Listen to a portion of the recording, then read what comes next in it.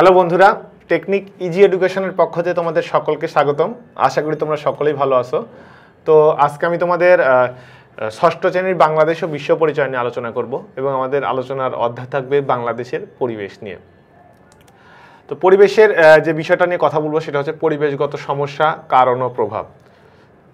অর্থাৎ পরিবেশগত বেশ কিছু সমস্যার সৃষ্টি হয়েছে আমাদের বা হচ্ছে এবং এর কারণটা কি জানব এবং এর প্রভাবে কি হবে সেই বিষয়গুলো নিয়ে কথা বলব। তো দেখো, আমরা এর আগের একটা ক্লাসে যে বিষয়টি নিয়ে আলোচনা করেছি, মানুষ ও পরিবেশের সম্পর্ক কেমন সেটা নিয়ে কথা বলেছি। তোমরা ক্লাসটা আশা করি দেখে দেখেছ। তো সেখানে আমরা দেখেছি যে মানুষ আর পরিবেশের মধ্যে একটা নিবিড় সম্পর্ক গড়ে উঠেছে। অর্থাৎ মানুষের জীবনধারা, তাদের কার্যক্রম, তাদের অর্থনৈতিক কার্যক্রম সব কিছু কিন্তু তার পরিবেশের উপর ডিপেন্ড করে, নির্ভর করে। একটা পরিবেশ যেমন হবে, সেই পরিবেশ অনুযায়ী তাই কিন্তু দেখা যাচ্ছে যে তার সার্বিক কার্যক্রম পরিচালনা করতে হবে। সেটা অর্থনৈতিক হোক, সামাজিক হোক, যে ধরনের কার্যক্রমই হোক না কেন। তাহলে এখানে আমরা যেটা দেখতেছি যে এই পরিবেশগত সমস্যা মানে বর্তমান সময়ে পরিবেশগত বেশ কিছু সমস্যার সৃষ্টি হয়েছে আমাদের সমাজ ব্যবস্থায়। যে পরিবেশের নিয়ম কানুন বা পরিবেশগুলোকে বিশৃঙ্খল মানে বিশৃঙ্খল একটা অবস্থায় চলে যাওয়ার কারণে আমরা পরিবেশটাকে সঠিকভাবে নিয়ন্ত্রণ করতে পারছি না। আর এই যে সঠিকভাবে আমরা নিয়ন্ত্রণ করতে পারছি না, সঠিকভাবে নিয়ন্ত্রণ করতে না পারার কারণেই আমাদের পরিবেশগত বেশ কিছু সমস্যার সৃষ্টি হয়েছে। যেমন ধরো যে আমরা পরিবেশের যে স্বাভাবিক প্রবাহ, সেই স্বাভাবিক প্রবাহকে কিন্তু আমরা বাধাগ্রস্ত করতেছি আমাদের নিজের কাজের জন্য, নিজের প্রয়োজনের জন্য। অর্থাৎ পরিবেশ যে স্বাভাবিক ওয়েতে চলবে, স্বাভাবিকভাবে যে চলবে, সেখানে কিন্তু বাধার সৃষ্টি আমরা মানুষই করছি। কি কারণে করছি? যে আমাদের নিজের প্রয়োজনের জন্য। দেখো আমরা নদীর পানিকে মানে নদীর পানির স্বাভাবিক গতিপ্রবাহে আমরা বাধার সৃষ্টি করি। নদীর পানিকে আমরা অন্যভাবে ব্যবহার করি। আমরা দেখা যাচ্ছে যে আমাদের যে আরও যে পরিবেশের যে সকল উপাদানগুলো রয়েছে, সেই উপাদানগুলোকে আমরা সঠিকভাবে বা স্বাভাবিকভাবে আমরা ব্যবহার করি না, যার ফলে কি হচ্ছে? যার ফলে কিন্তু আমাদের সমস্যার সৃষ্টি হচ্ছে। এখন আমরা যদি কারণের কথা বলি, পরিবেশগত সমস্যার কারণের কথা বলি, তাহলে আমরা এই যে বিভিন্ন সময় কি করতেছি? আমরা দেখা যাচ্ছে যে পরিবেশের বিভিন্ন জায়গায় প্রথমত দেখো, গাছপালা কাটার কথা আমরা বলতে পারি, যে বৃক্ষ নিধন বৃক্ষ নিধন আমরা করছি। তাহলে আমরা যদি প্রতিনিয়ত বৃক্ষ নিধন করি, তাহলে পরিবেশগত সমস্যা সৃষ্টি হবে, এটা স্বাভাবিক ব্যাপার। কেন? যে পরিবেশটাকে সুষ্ঠু মানে সুষ্ঠু স্বাভাবিক রাখার জন্য আমাদের কি দরকার? যে আমাদের কিন্তু গাছপালার প্রয়োজন, গাছপালার দরকার। এই কারণে আমরা কি করব? যে পরিবেশগত সমস্যা নিরসনের জন্য বা পরিবেশগত সমস্যা দূর করার জন্য অবশ্যই আমরা এই বৃক্ষ নিধনমূলক কাজটা কিন্তু একটা বড়সড় ধরনের ভূমিকা রাখতেছে। এরপর দেখো, আমাদের বর্তমান সময়ে জীবনযাত্রাতে যান্ত্রিকতা বা শিল্পের ছোঁয়া নগরায়নের ছোঁয়া কিন্তু আমাদের সমাজ ব্যবস্থাতে বা রাষ্ট্র ব্যবস্থাতে দেখা দিয়েছে। এর কারণে কি হচ্ছে? যে আমরা পরিবেশকে বিশুদ্ধ মানে একদম খারাপ একটা অবস্থায় নিয়ে যাচ্ছি। কেমনে যাচ্ছি? যে আমার বাড়িঘর তৈরি করার জন্য ইট দরকার, কালভার্ট মানে ইট দরকার। ইট ছাড়া তো আমি বাড়িঘর মানে বড় পাকা বাড়ি তৈরি করতে পারব না। এখন দেখো, এই ইট তৈরি করার জন্য কি করতে হচ্ছে? যে আমাকে ইট তৈরি করতে যে ইটটার মাটিটাকে যখন পুরাইতে হচ্ছে, তখন যে কালো ধোঁয়াগুলো নির্গত হচ্ছে, এই কালো ধোঁয়াগুলো কি হচ্ছে? এই কালো ধোঁয়া আমাদের পরিবেশকে নষ্ট নষ্ট হচ্ছে। আমাদের জনসংখ্যা পূর্বের তুলনায় অত্যাধিক পরিমাণে বেড়ে যাচ্ছে, বেড়ে গেছে। তাহলে এই যে অতিরিক্ত জনসংখ্যা বৃদ্ধি পেল এই অতিরিক্ত জনসংখ্যা বৃদ্ধি পাওয়ার ফলে কি হচ্ছে? যে আমার অতিরিক্ত পরিমাণে খাবারের দরকার, খাদ্যশস্যর দরকার।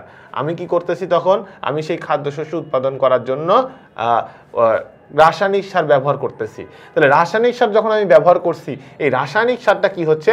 এই রাসায়নিক সারটা কিন্তু আমাদের পরিবেশটাকে নষ্ট করছে। অর্থাৎ রাসায়নিক এই সারগুলো জমিতে ব্যবহার করার পর সেটা বৃষ্টির পানিতে হোক বা বিভিন্ন মাধ্যমে হোক, আমাদের অন্যান্য জায়গায় সেটা ছড়িয়ে যাচ্ছে। আমরা আমাদের যে জলাশয়গুলো, মুক্ত যে জলাশয়গুলো রয়েছে, সেই মুক্ত জলাশয়গুলোতে মিশে যাচ্ছে। আমাদের যে মৎস্য সম্পদ, সেই মৎস্য সম্পদ নষ্ট হচ্ছে। পাশাপাশি বায়ু দূষণের মাধ্যমে আমাদের পরিবেশটাকে কি করছে? দূষিত করছে। এগুলো হচ্ছে আমাদের পরিবেশগত সমস্যার কারণ। এই কারণে আমাদের পরিবেশগত সমস্যাগুলো সৃষ্টি হচ্ছে। আমরা যদি প্রভাবের কথা বলি, তাহলে দেখো যে প্রভাবের কথা যদি আমরা বলি, তাহলে আমরা দেখব যে এর প্রভাব প্রভাব বলতে ফলাফল, যে এই যে আমরা পরিবেশগত সমস্যার সৃষ্টি করছি, এই পরিবেশগত সমস্যার ফলে আমাদের কি ধরনের ক্ষতির সম্মুখীন আমরা হব বা কি ধরনের সমস্যার সম্মুখীন আমরা হব, সেই বিষয়টি কিন্তু এখানকার মুখ্য বিষয় বা এখানকার আলোচনার মূল বিষয়। তাহলে এখানে প্রভাবের বিষয়টা কি আসতেছে? যে এই যে গাছপালা কেটে ফেলার কথা আমরা বললাম, তাহলে গাছপালা যদি আমরা কেটে ফেলি, তাহলে আমাদের বনায়ন কমে যাবে গাছ কমে যাবে। তাপের পরিমাণটা বৃদ্ধি পাবে। তাহলে তাপের পরিমাণটা যদি বৃদ্ধি পায়, তাহলে কি হচ্ছে? যে এই কারণে তাপের পরিমাণ বৃদ্ধি পাচ্ছে, বৃষ্টি বৃষ্টির পরিমাণ এখানে কমে যাবে।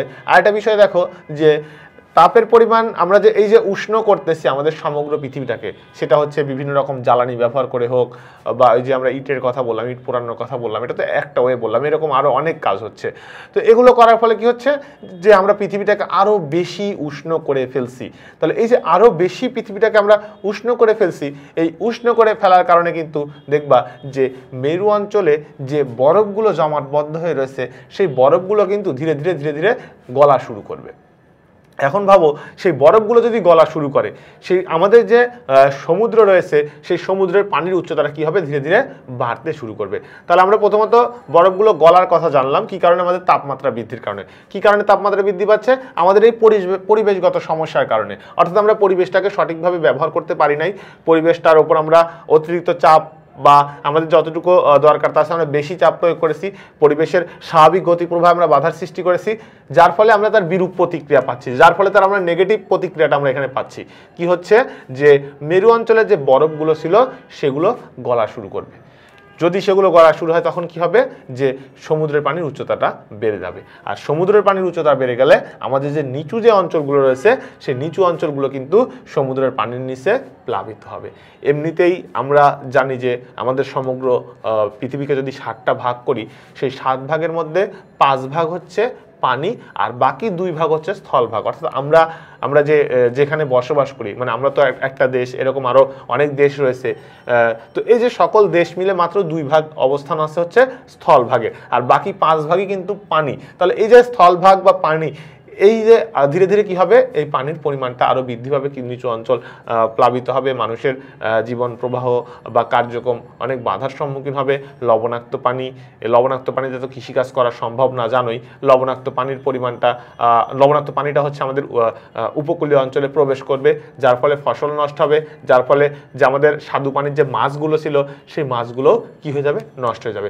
তাহলে আমরা এখানে আমাদের ভবিষ্যৎটা কি দেখতেছি? আমাদের ভবিষ্যৎটা যদি আমরা, এই যে পরিবেশগত সমস্যার কথা আমরা বলি, তাহলে আমাদের দেখব যে আমাদের ভবিষ্যৎটা অনিশ্চিত ভবিষ্যৎ। অর্থাৎ এর ফলাফল বা এর রেজাল্ট কি আসতেছে সেটা কিন্তু আমরা দেখা যাচ্ছে জাস্ট একটা অনুমান করতেছি যে আমরা এই রকম ক্ষতির সম্মুখীন হব। কিন্তু এটার যে ফলাফলটা যে ভয়াবহ সেটা আমরা বুঝতে চাচ্ছি না। এবং আমরা এই কারণে দেখব যে পরিবেশগত নানা ধরনের সমস্যা, পরিবেশের যত ধরনের সমস্যা সেগুলো কিন্তু আমরা সৃষ্টি করছি এবং আমাদের পরিবেশটা হুমকির সম্মুখীন হয়ে যাচ্ছে। এই কারণে বলা হচ্ছে যে পরিবেশগত সমস্যা আমাদের বর্তমান সময় এবং ভবিষ্যৎ সমাজের বা ভবিষ্যৎ সময়ের জন্য কিন্তু খুবই গুরুত্বপূর্ণ একটি বড় সমস্যা হিসেবে বিবেচিত। আমরা যদি এই পরিবেশগত সমস্যা কে নিয়ন্ত্রণ করতে না পারি, তাহলে কিন্তু পৃথিবীতে মানুষ বসবাসের জন্য অনুপযোগী হয়ে যাবে। মানুষ সহ কোনো জীবী জীবী কিন্তু আর পৃথিবীতে বসবাস করতে পারবে না। তো আমাদের যেহেতু বিষয় ছিল পরিবেশগত সমস্যা, কারণ প্রভাব, সুতরাং আজকের ক্লাস আমাদের এই পর্যন্তই। পরবর্তীতে আমরা এই অধ্যায়ের যে বাকি টপিকগুলো রয়েছে, সেগুলো নিয়ে আলোচনা করব। এই পর্যন্ত সকলেই ভালো থাকো। ধন্যবাদ সবাইকে।